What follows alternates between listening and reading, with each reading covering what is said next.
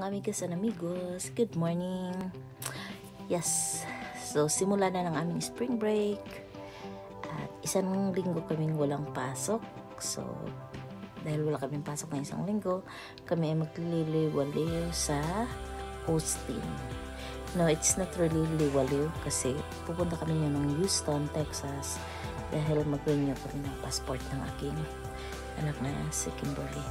So anyways, mga amigos and amigas, kung ikaw ay desidido sa online business, show my franchise online business, it is a good decision if you want to do that. And hindi lang po yan. Sa mga wala pa pong Foreign Credential Evaluation or the FCE,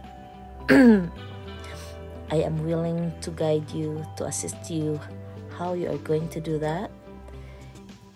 And after that, if you want to move forward in getting the teaching license here in New Mexico, I can also help with you of doing it.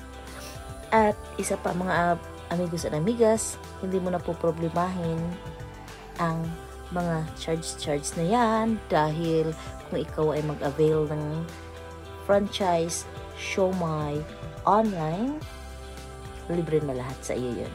Ano pang hinihintay mo? Go na!